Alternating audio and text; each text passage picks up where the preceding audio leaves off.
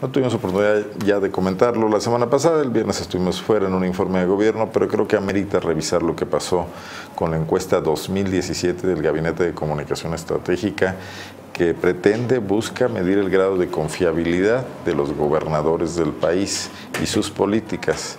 Por una parte se destina bastante la posición que ocupa Miguel Márquez, quien resulta muy bien evaluado.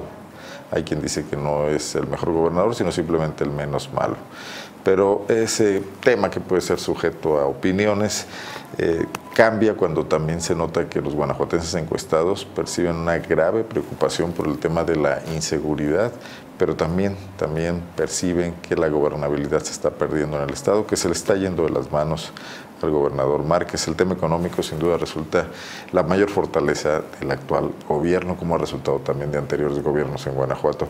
Carmen Martínez, quien revisó la encuesta a fondo para elaborar una nota que se publicó el lunes pasado aquí, eh, perdón, el domingo pasado, el día de ayer, aquí en Zona Franca, está conmigo para la revisión de los reactivos de esta encuesta nacional. Carmen, ¿cómo estás? Hola, ¿qué tal Arnoldo? Muy bien, muchas gracias. Pues sí, como mencionas, esta encuesta nacional hace una medición pues, del grado de confiabilidad que tienen los gobernadores en este 2017, pues ya el, casi el último año de, de Miguel Márquez Márquez, sale bien evaluado el gobernador, o sea, tiene una calificación que si bien la comparábamos en una escala del 1 al 10 como en la escuela, no alcanza a pasar de panzazo, sí lo pone entre uno de los gobernadores mejor evaluados a nivel nacional. Que es un mérito para ser el quinto año del gobierno, ¿no? Sí, claro. Esto, esto no significa que Miguel Márquez sea un buen gobernador o que tenga la aceptación de todos los ciudadanos, porque bueno, la mayoría no está de acuerdo con muchas de las cosas que está haciendo, no le da una buena calificación, pero sí es de los menos peores, por así mencionar. Sí, y yo creo que específicamente el menos peor.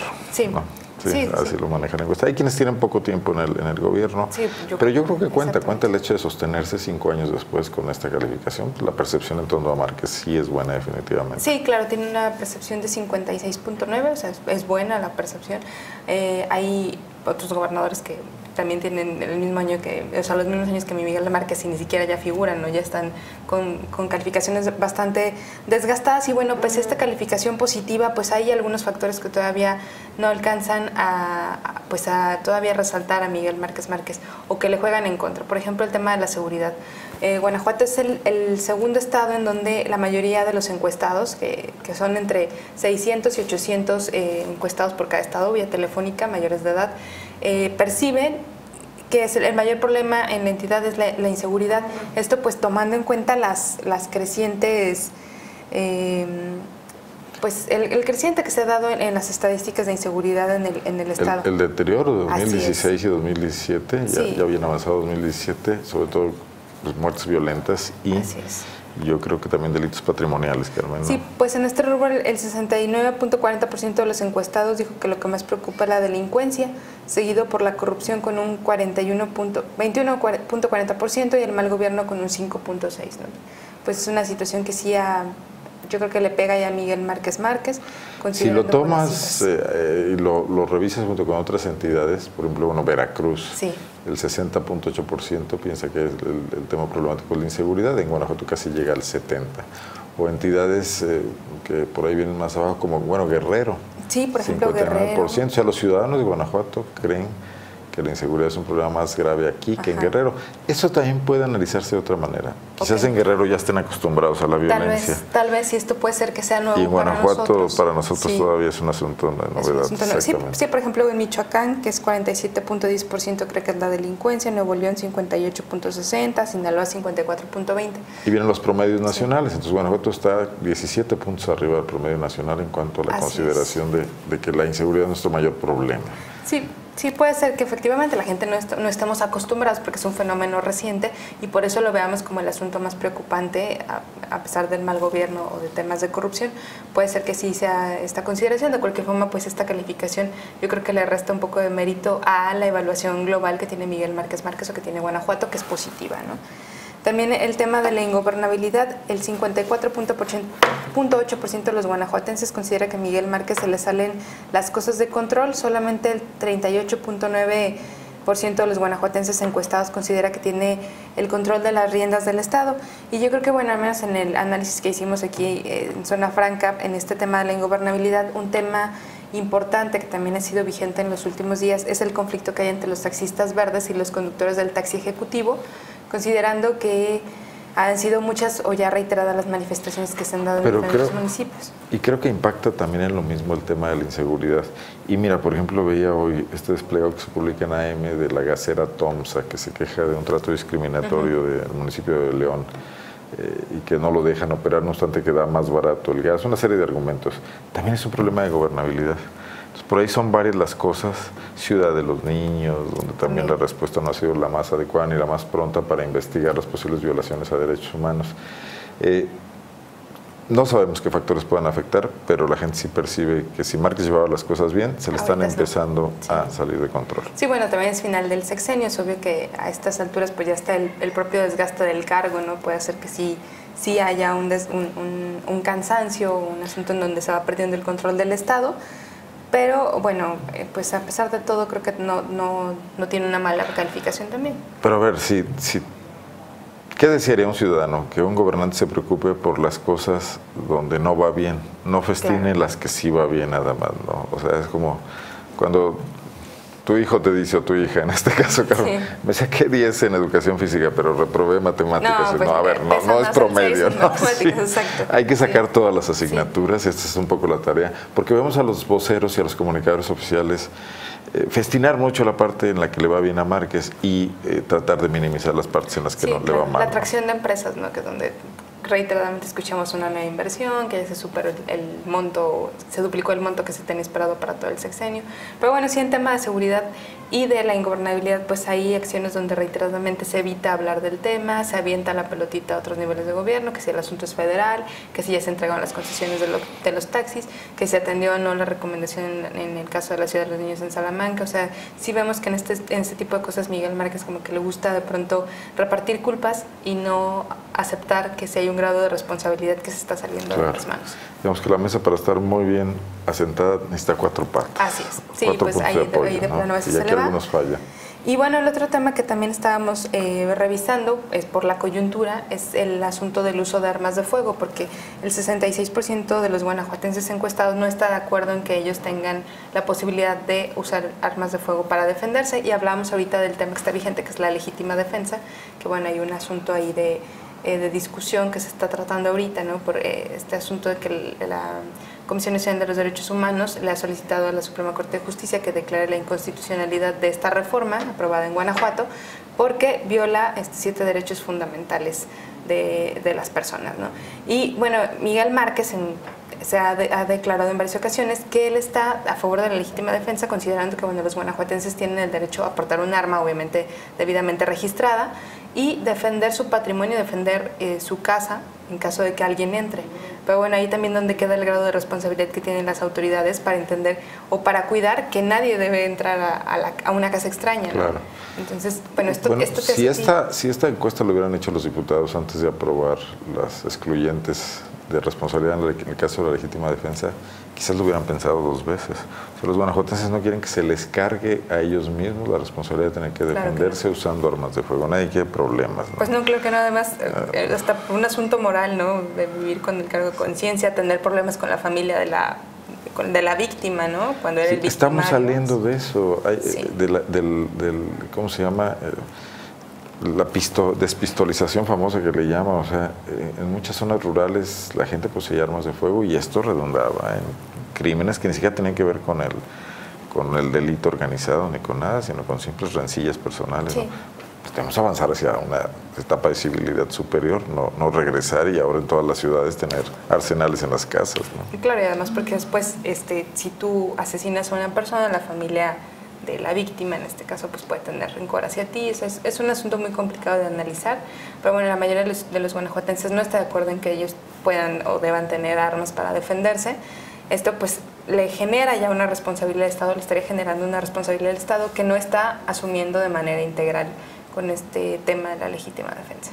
Parte de lo interesante que contiene esta encuesta, que es muy importante revisar con calma, también, por ejemplo, Guanajuato se mantiene entre las entidades con un eh, nivel de rechazo, por ejemplo, al matrimonio homosexual, al aborto. Sí, tiene, tiene asuntos conservadores en donde la gente no quiere ese tipo de cosas. La mayoría de otras entidades. Sí, la mayoría se pronuncia en contra del matrimonio igualitario, en contra de del derecho a la interrupción legal del embarazo. sí, son temas que ahí no está, no está la gente de acuerdo es creo que uno de los estados que continúa siendo de los más conservadores, eh, según lo manifiesta esta encuesta. Lo cual muestra una buena radiografía de Guanajuato, creíble, ¿no? Esa misma gente que opina eso también empieza a preocuparse por la inseguridad y empieza a decir que al gobernador se le están yendo las cosas de las manos. Pues sí, en, términos generales creo que fue una, una, buena evaluación para Miguel Márquez. En términos específicos, pues hay factores que nos llamaron la atención y que es digno de resaltar, ¿no? O sea, así como se ve lo bueno que ha hecho Miguel Márquez, que creo que va a cerrar bien, eh, también hay que considerar los factores en donde no lo ha hecho bien, los que se están escapando últimamente de las manos. Sí, tienen que apretar el paso ahí donde son sus debilidades. Las fortalezas ya van caminando y bueno, dependen de muchos factores, también externos, ¿no?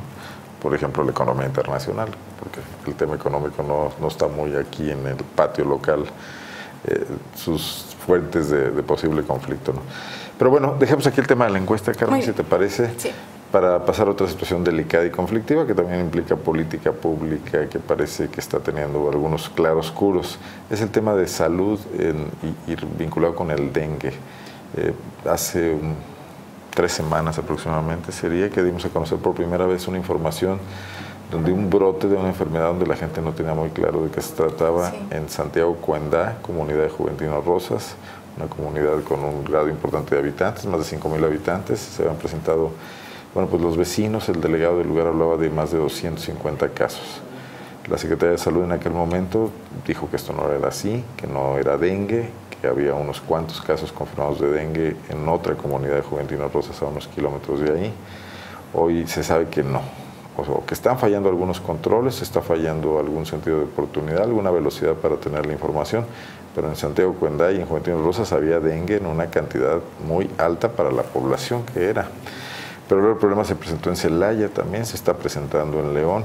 Tenemos una epidemia de dengue en el estado que ya sitúa en 510 los casos confirmados a cifras del 28 de agosto, que es el corte que presenta la Secretaría de Salud en su página web, la Dirección de Epidemiología, si no me equivoco, sí, Salud eh, y esto, bueno, pues el 28 de agosto al hoy 5 de septiembre ha pasado ya otra semana. Eh, hoy el secretario de Salud en alguna entrevista radiofónica, vamos a dialogar con él en un momento más, reconocía ya en León 300 casos, que probablemente haga que se eleve esta cifra de 510 a otra cantidad que tendremos el dato en cuanto la Secretaría de Salud produzca su informe, su reporte semanal, esto se produce por semana. Eh, bueno, Carmen, pues ayer estuvimos revisando esto y muchas expresiones en, redes sociales de personas que conocen a alguien que enfermó de dengue, que están preocupados por el tema, ¿no? Sí, yo creo que todos ya estamos preocupados por el tema del dengue. Yo me imagino, no sé, al menos yo sí tengo conocidos que ya tuvieron el, diagnóstico de dengue, que ya se suman estas estadísticas. Y bueno, sí hay preocupación de parte de, de, las personas en general en redes sociales. Y bueno, sobre todo también creo que de la manera en la que la Secretaría de Salud ha tratado o no ha tratado el tema. Porque, bueno, considerando que Guanajuato no es un estado de costa, que estamos cerca de la costa, donde generalmente pues el dengue es donde se desarrolla, y eh, sí, el, número de 510 casos es una cifra muy elevada, y seguramente el corte que la Secretaría de Salud Federal debe hacer el día de hoy, pues esta cifra se va a elevar de manera importante. Además de que hay que considerar que las cifras que se presentaron hasta la nota del día de hoy por zona franca son al 28 de agosto y en este entonces todavía no había ningún caso de dengue hemorrágico hasta el 28 de agosto eh, específico ya señalado. Pero este fin de semana, pues desgraciadamente supimos del fallecimiento de un menor de 9 años en, en, el municipio de Celaya por dengue hemorrágico. Eh, al principio pues el diagnóstico no era muy claro, pero bueno, la Secretaría de Salud confirmó que efectivamente fue un caso de, dengue hemorrágico. Es un fallecimiento en Guanajuato, 10 a nivel nacional, pero bueno, pues ya es preocupante, ya es alarmante saber que hay una defunción por un caso de dengue, ¿no? Son 510 hasta el 28, vamos a ver en cuánto incrementa la cifra, porque además en la información que hoy el secretario de Salud eh, Daniel Alberto Díaz Martínez dio a, un programa de radio, pues decía que hay 300 casos en León. Aquí, en la información que tenemos en el portal, según el corte del 28, eran 295 casos en diferentes municipios, entre los que se encontraba León. Todavía no lo ponían como una, un municipio de riesgo, como es el caso no superaba los 136 de Celaya, ahorita ya los, los, duplica y más aún, ¿no? Sí, más aún. Entonces hay que revisar también si estas cifras, supongo que también se incrementaron en Celaya, supongo que también se incrementaron en Juventino Rosas. Y, y bueno, pues es un asunto que preocupa, que está considerando ya una alerta, una alerta epidemiológica, pese a que la Secretaría de Salud, todavía el propio secretario el pasado día 25 de agosto de una rueda de prensa en donde dice que pues no, que no hay que alarmar, aunque el problema es que la gente ya está alarmando. Pues claro, por su cuenta. ¿no? Pues es que ya cuando empiezas a ver por la falta de información, ¿no? sí, sí, sí, por la falta de información, porque yo tampoco, bueno, yo en lo, en lo personal, eso sí lo hago un comentario de título personal, no he visto brigadistas por mi colonia, no han pasado. No sé si porque no es una zona donde haya dado casos de dengue, pero en, ocasiones anteriores, todos los años yo veía pasar brigadistas. Este año no he visto ninguno, pese a que bueno, la, la alerta epidemiológica está, está vigente. ¿no? Por ejemplo, vimos los posts que ponía Miguel Gutiérrez Hernández, exdiputado federal, exdirector del DIF, ex secretario particular del secretario de Salud, José Ángel Córdoba, en el sexenio Felipe Calderón, y mencionaba con, con, gran énfasis que la situación era delicada en León y que no había funcionarios que estuvieran haciéndose cargo del problema. Eso también nos, nos llamaba la atención. Aunado al reconocimiento oficial del fallecimiento de este niño que mencionabas, Carmen, un niño de nueve años de edad, que murió la tarde del sábado en el Hospital General de Celaya. Eh, estaba en el área de terapia intensiva. La Secretaría de Salud explicó en un boletín de prensa que el dengue se asoció con una disfunción del corazón. Eh, eh, estaba diagnosticado o había un pronóstico, es un término médico, quizás no estaba aún confirmado, un pronóstico de dengue hemorrágico o dengue grave. El niño fallece por una disfunción del corazón, estaba contagiado de dengue. Eh, bueno, pues si te bueno, hay otro tema, hay otro tema, que quiero mencionar porque esto me llama mucho la atención. El niño se llamaba Juan Jesús, habitaba en la colonia Lagos y, tenía un fuerte dolor de cabeza desde el miércoles. Fue llevado a una farmacia, le recetaron solo paracetamol, esto no lo controló, su temperatura subió hasta 41 grados, muy alta ya, y empezó a vomitar ya a esas alturas la familia lo lleva al hospital general y es ahí donde pierde la vida. Pero el tema que quería comentar es otro. Hoy en Celaya surgió la información de que el tecnológico de Celaya estaba planteando que después de varios avisos a la Secretaría de Salud para que acudieran a fumigar eh, eh, los jardines del tecnológico por el exceso de humedad y la gran cantidad de mosquitos, este, no fue posible contar con el servicio, con este servicio, y debieron contratar a una empresa privada que empieza a realizar las labores de fumigación eh, el día de mañana. Esto decía, se publicó además, lo hizo público el Instituto Tecnológico de Celaya en una cuenta de Facebook oficial del instituto, eh, lo cual provocó que el alcalde de Celaya, Ramón Lemos Muñoz Ledo, pues saliera a decir que le correspondía a la dependencia estatal, es decir, a la Secretaría de Salud hacer esta fumigación.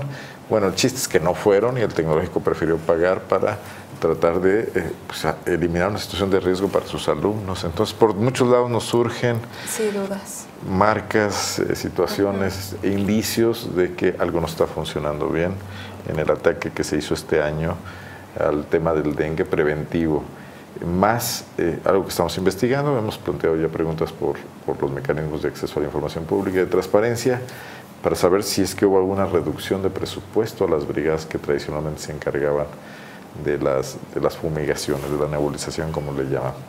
Carmen, no sé si quieres agregar algo más. Pues es básicamente lo que hay que hablar del dengue. Seguramente vamos a estar platicando en, el resto de los días y mientras dure esta contingencia, pues no vamos a soltar. Vamos a tratar de enlazarnos. Si gustan, hacemos una pausa con el secretario de Salud, con Daniel Díaz Martínez, Daniel Alberto Díaz Martínez. Eh, en cuanto lo tengamos regresamos, pero le voy a pedir a Carmen que se quede para también que participe en esta entrevista, ya que ha tenido toda la información a la vista sobre el tema del dengue. Pero déjeme hacer una pausa para hacer este enlace.